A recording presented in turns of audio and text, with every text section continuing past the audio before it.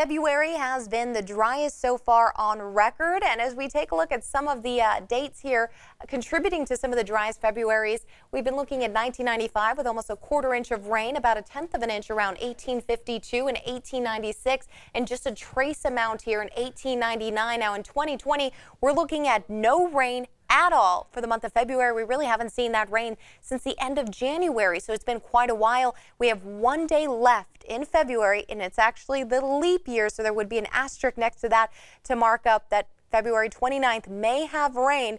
We do have a little bit of precipitation out there in the forecast that could bring in rain on the very last day of February, but would it be enough if we got it to actually start making us contend with the driest February? Because at this point, we are the driest ever. But if we get more than 0.04, well, that still is the record from 1899. So we'll have to wait and see tomorrow if we got any rain registered at all in Sacramento to, to really make us the driest on record. At this point, I'm betting pretty safe to say we're going to be the driest we've ever seen.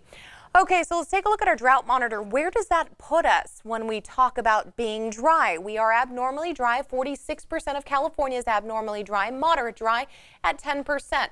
Now, what does this all mean? How does it play out? Should be, we be worried? Well, don't be worried. We did have a pretty big year last year in terms of snowpack how much snow, how much rain are in the reservoirs, and we do have a pretty good amount, substantial amount, even over 100% in the Shasta area.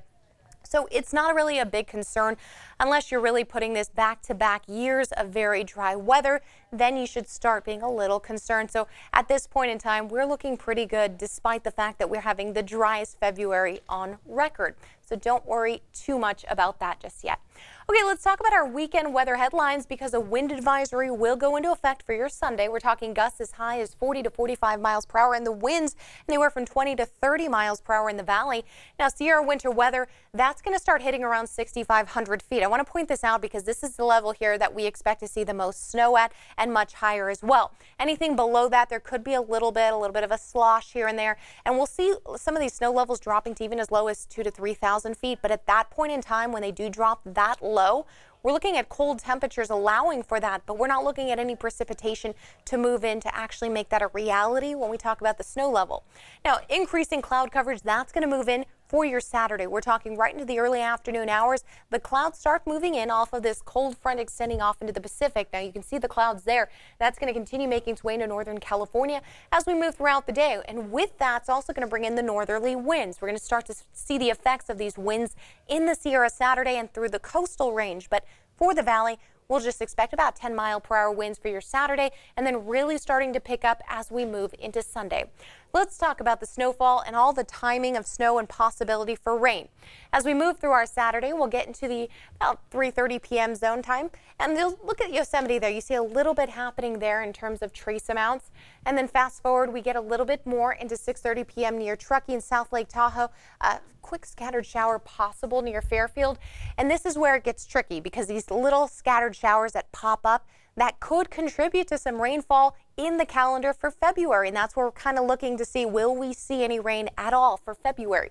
Well, fast forward there, and there it is. This is what I want to point out to you. You can see some of the rain extending as far south as a quick little shower near Sacramento. And this is what we're watching later tonight at around 9.30 p.m. because that could contribute to that driest record we had uh, earlier that I showed you. Well, if we get enough rain, we could actually not be the driest on record. We could uh, just be just above that 0.04 mark. Now take a look at Truckee, South Lake Tahoe. You see that purple shade there instead of the white. This is where we start to get some of the fluffier snow. We're looking at some more of a slosh and heavy snow stuff coming down there. And then we finally start to see it move south 5.30 a.m. on Sunday. So now that we've moved through the overnight hours, you're looking at another hit here around 10:30 a.m. or we're looking at a lot more snowfall. It's cooled off overnight and the precipitation's moving in, turning it to snowfall at some of the higher elevations. So we could see as much snow as anywhere from 3 to 6 inches, right around 6,000 to 6,500 feet, and then even more snow at some higher elevations. So let's take a look here. As you see some of the colors, some of the highest spots here further south, we're talking off of 120, that pink shade. You're looking at as much as even 24 to 30 36 inches possible further south through the Sierra. But as we take a look closer to home for us, uh, just off 108, 488, you're seeing some of that bluish shade there, about three to six inches possible. And the further north you get, a little less snow. So we will expect some of the heavier snow to remain further south, especially closer to the Yosemite area. All right, let's talk about the winds because the winds are going to play a part in your day no matter where you are. If you're in the valley, you're going to see the winds begin picking up as we start moving into Sunday. So 2 p.m. in the afternoon, you can see the strong winds through the Sierra and the coastal range. Things start to slow down just a bit for everyone overnight. We're looking at calm winds to even light 5 to 10 mile per hour winds. Finally, into Sunday, you're looking at 330. 20 mile per hour winds in the valley and the coastal range in that red shade, about 30 mile per hour winds. We could see some spots as high as 40 to 45 miles per hour, as you can see in that purplish color here through the Sierra. So we will see the winds really picking up throughout Sunday and moving into Monday, though, we'll also begin to see some of those uh, winds through the morning hours, but things will start to slow down through your afternoon hours. So temperatures dropping in anywhere from 10 to 15 degrees just from yesterday. So we are cooling down significantly today as that cold front passes through mid 60s to low 60s on Sunday. We'll finally get right around 70 degree mark on Monday. And then the high temperature here of 77 on Wednesday. It's going to be the warmest day of the week before we see another chance of showers on Saturday.